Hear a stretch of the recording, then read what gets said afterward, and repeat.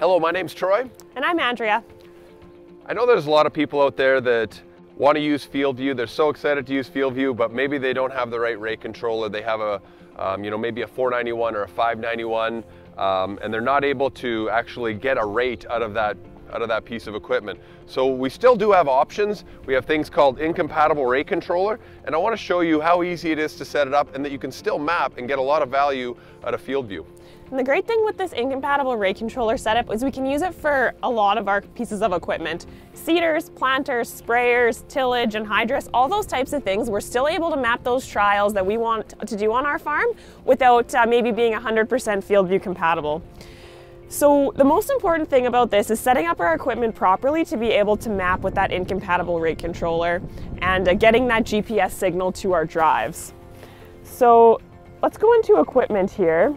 And uh, our tractor we would set up just like normal. Uh, you probably already know how to do that one, so we're gonna skip that today. Let's go to a seeder first. Add new equipment, hit seeder. Uh, I know in your area, Troy, we get a lot of 591 monitors running Bourgaults. Yep. So uh, let's use that example here. I'll choose a Bourgault drill. Uh, air seeder model, choose the one from the list that you have air seeder rows. Select how many rows you have would, uh, on, your, on your drill. I'm gonna choose 50 for today. 12 inch row spacings with a drawn hitch style. Yes, I am using an air cart. Um, select this air cart here. We can choose Bourgault. Find the number you have. If you don't see your number on the list, this is where you can choose custom. Um, it doesn't matter because we are using that incompatible rate controller option. Uh, select your tanks. If you did want to map seed and two other fertilizers with incompatible, that is an option for you. This is a great place if you're going to um, try to increase fertility. Uh, for a couple of passes, decrease fertility for a couple of passes. So uh, we can still map all of that. If you're doing variable rate, that's where we can. But with a lot of those monitors, they don't have the capability of variable rate. So it's, it's still a great option for us. When we get to the seeder display here, this is where we want to choose that incompatible display option. And give that seeder a name. And um, go into that seed exit. Actually, sorry, before we go into there, when we are using our equipment in the field, we do want to make sure those measurements are correct. So you see that wheel distance measurement on the first screen.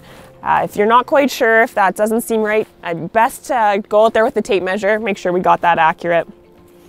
Go into that seed exit, we gotta turn this controller on. This is also where we're gonna select that incompatible rate controller option. If we wanted to capture that fertility layer, you would go into that application A. This is currently disabled, we'd turn that on using incompatible rate controller option and then we'd have to add a measurement in here. Same thing if it's uh, if you don't know what that measurement is, would recommend a tape measure. And then we do have to double check that air cart setup. So one thing that does show up here is a, a tow between or tow behind uh, air cart, which is pretty important when we're in the field. Got to make sure we have these measurements correct to be able to map properly. So I'm just going to throw uh, throw a number in here for now, and I would recommend going back and checking these. So I have a seed, application A. I only need to map one fertilizer for today, so I can hit done. And now I have that incompatible seeder set up. So just to check and make sure that we have everything working, I'm gonna hook up a drive really quickly and uh, see if Andrea can, can connect to it. So um, let's give it some power.